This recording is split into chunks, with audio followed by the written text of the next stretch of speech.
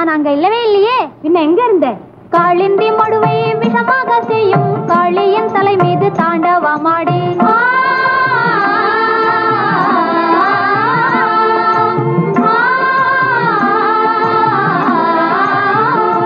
காளிந்தி மடுவை விஷமாக செய்யும் காளியின் தலை மீது தாண்டவமாடி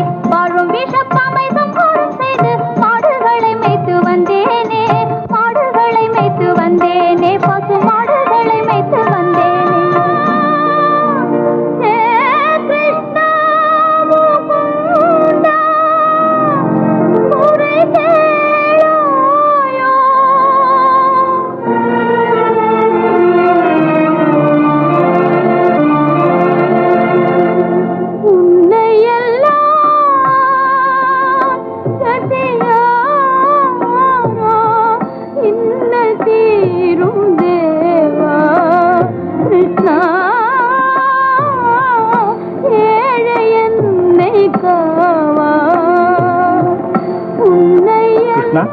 கிருஷ்ணா? ஆ? என்ன இது? என்ன நடந்தது? என்ன இருக்கிறது?